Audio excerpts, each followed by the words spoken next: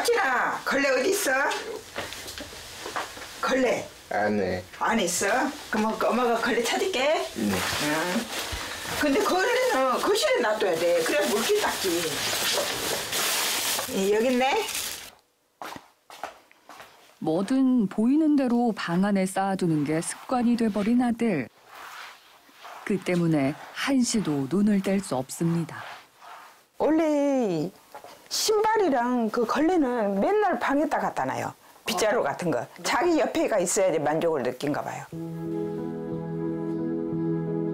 방안 가득 쌓인 너저분한 물건들은 아들이 밖에서 주워온 냄새나고 지저분한 쓰레기들인데요. 쉽게 고쳐지지 않는 오래된 습관입니다. 혁진아. 이거, 이거.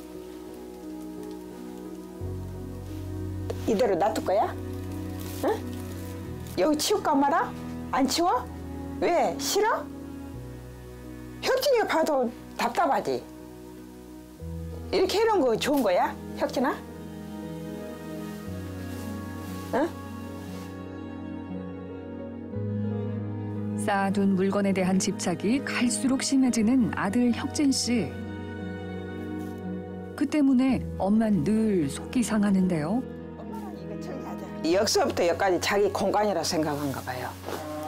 이제 이렇게 가, 이만큼 있으면 이제 만족을 느낀 것 같아요.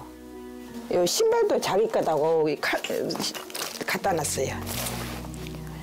이 옷도, 옷도 그리고 우리 혁진이 옷.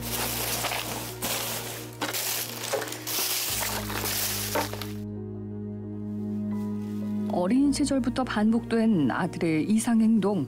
거기엔 또 다른 이유가 있습니다. 네 살인가 다섯 살 때 지적 장애를 받아서 좀 발달이 늦어가지고 원래 커가면서 그래가지고 좀 마음이 아프더라고요. 근데 성일 나면은 못 이겨요. 진짜로 못 이겨요. 이길 사람 한 명도 없어요. 주간에서도 가면은 선생님들이 혁진 물건 못 만져요. 함부로. 만졌다 뭐 엊그저께도 월요일날 난리 나는 것 같더라고요.